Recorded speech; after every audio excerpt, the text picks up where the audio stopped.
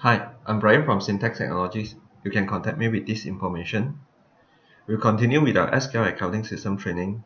In today's lesson, I'll talk about supplier credit note. Let's go to SQL. We go to supplier. Supplier, supplier credit note is over here. Supplier credit note normally is when you when your supplier gives discount to you or do any transaction that will reduce the outstanding for the supplier.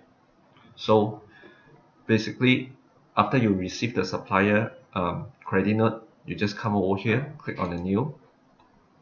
So supplier credit note will not involve stock and item. So normally it's discount.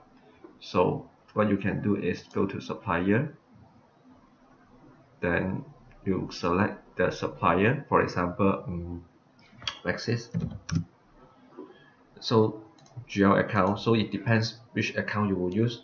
Maybe it's a return inwards.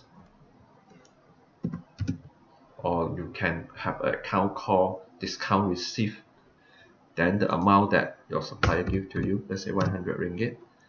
Then just click on or knock off for which invoice or debit note let's say you knock off with this one. Or you also can do partially knock off let's say this is 80 ringgit this one is 20 ringgit. It's almost similar with the way to do the supplier payment. So same thing this um, internal document you do not need to print out just for record purpose.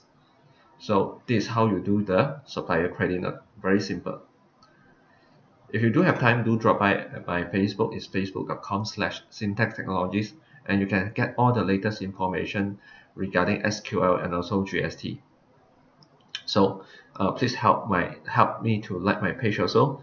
And if you want to watch other SQL tutorial video just go to my website.